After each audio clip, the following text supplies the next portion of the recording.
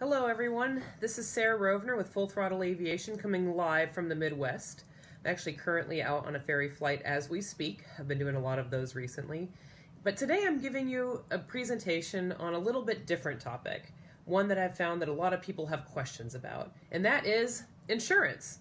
As everybody has seen, I recently took a position as an aviation insurance agent for Clemens Insurance Agency, and I've been selling policies to a lot of my friends, coworkers, clients, and there's a lot of misconception out there about insurance and what exactly it covers.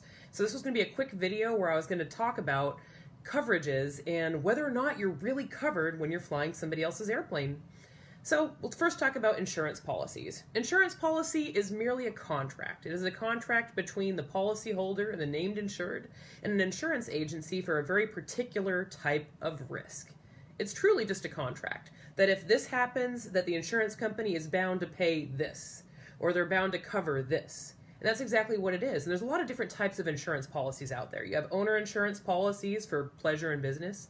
You have commercial insurance policies, which could cover a commercial operation, an airline, a Part 135 operation. You have things like non owned policies, such as non owned liability and property damage, which we commonly refer to as renter's insurance, renters or borrower's insurance we have so many different types of policies out there, and they're all very specific to a certain type of operation. For example, a flight school would be covered to provide dual instruction in their aircraft, whereas if you were just flying your plane around and had a pleasure and business policy, that might not be covered. So each insurance policy has a named insured, and they have a particular type of operation in the insuring agreements that are covered. That's the first step of it. The second step of it is there's a lot of misconceptions on what insurance covers. An insurance policy always protects the named insured. Period.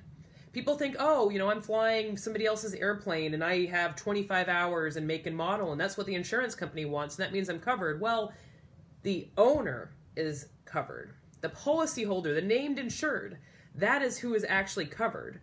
So if anything were to happen, and you're an approved pilot or you fall under the open pilot clause, the owner would be covered if there's any type of damages that are a covered occurrence on their policy. But that doesn't always protect you, and I'll kind of explain that in a little bit. But just one thing to remember is that the insurance policy only and always protects the policy holder, the named insured, the person who is actually entering into the agreement with the insurance company. It is protecting them from any type of loss, loss or particular risk. It's not always protecting everybody else involved, and that's what I'm going to get into.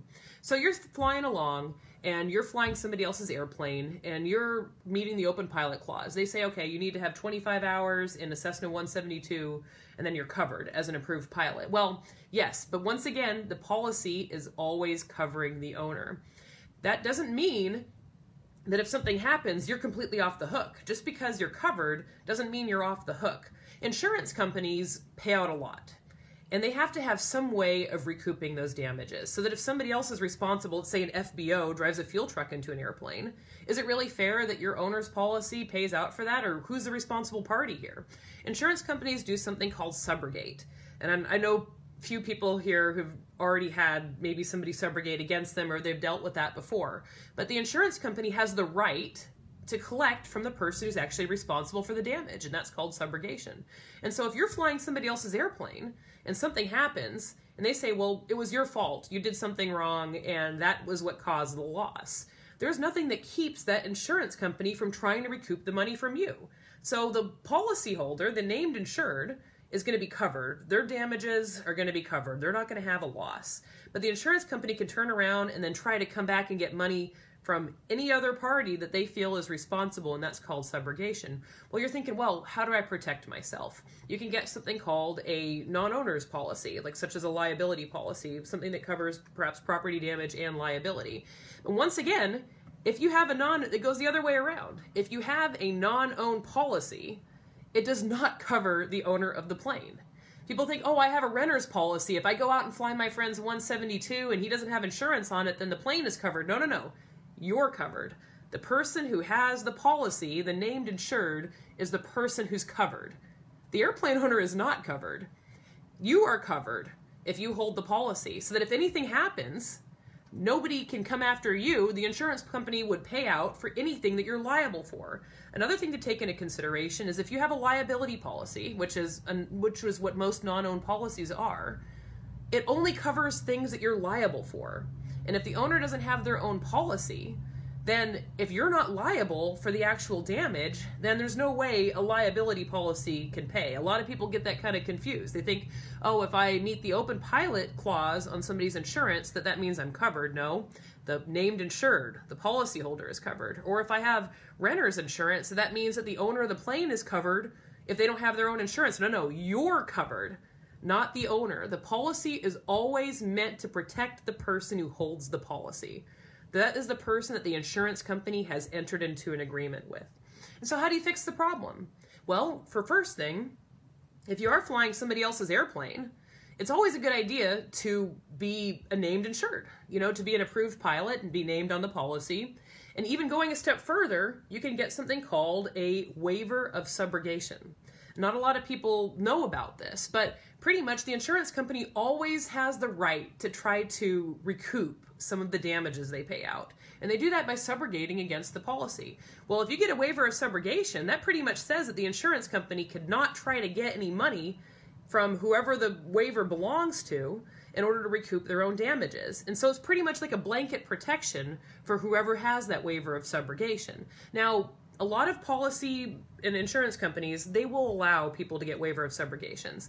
But I've found that over the past few years, it's getting harder and harder to get them. Because once again, as soon as an insurance company writes a waiver of subrogation, they pretty much say that if you have a waiver of subrogation and you can't get any, you know, and it, if I see Dan right right there. but yeah, if you have a waiver of subrogation, then something happens that they cannot get any money out of you. And that's a really good idea to do it. But once again, it's getting harder and harder because it gives it takes away the insurance company's ability to even try to get money from that person. The second part of it is, of course, if you have your own renters or borrowers policy, and if you own an aircraft, you can always check your policy or check with your insurance agent. A lot of owned policies give you non-owners liability coverage. Um, you can obtain that policy because once again, if you just borrow your friend's Cessna 172 and something happens and it's your fault, that person's insurance policy is going to protect the owner. It is not going to protect you. And if you have a renter's policy and something happens, then the insurance company will say, well, wait a minute, you're at fault. But if you have a non owned liability policy, a renter's policy, then that policy would pay out and you might not be, well, depends on the damages and everything, but it gives you an extra layer of protection. And so I work with Clemens Insurance Agency out of Parsons, Kansas, but we can write policies pretty much anywhere in the country. And in renter's insurance policy is a very inexpensive way to protect yourself, to protect your risk, protect your assets. It's a very, very inexpensive way to do that. And it will allow you to rent or borrow other people's airplanes with peace of mind. Now, while there haven't been a whole lot of cases where you know flight schools have tried to come after students for damage to airplanes or flight schools insurance companies it does happen and i do know people it has happened to personally and that's why even if you are, you know, don't plan on doing a whole lot of flying and you, your flight school doesn't require the renter's insurance policy, it's always a really good idea to have something there. Either that or obtain the waiver of subrogation, which once again is, is becoming more difficult. But if you have any questions about that, or you're going to be flying somebody's airplane on a regular basis, find out about that. But with Clemens, we'd be more than glad to give you a quote for a non owned policy. It might protect you and give you that peace of mind that if, hey, if something happens, while the owner and the policyholder are protected, that also protects you from any chance that the insurance company wants to come after you for any type of loss that they have to pay out. Well, I hope you found this video informative and it kind of debunks the myths about insurance. I get people who ask me, say all the time, oh, I have a renter's insurance policy that's going to cover the airplane. Well, it doesn't cover the airplane, it covers the policyholder. It always covers the policyholder. The policyholder, the named insured, is the person entering into the contract with the insurance company, and that's who it protects. It does not protect the airplane, it protects the policyholder. And vice versa. You know, people say, oh, I have this person, you know, flying my airplane, or I want to add them as a named pilot. Well, that's great. The owner is always protected, but depending on the situation, the pilot may not be protected unless there's either a waiver of subrogation or if that person has elected to obtain their own policy.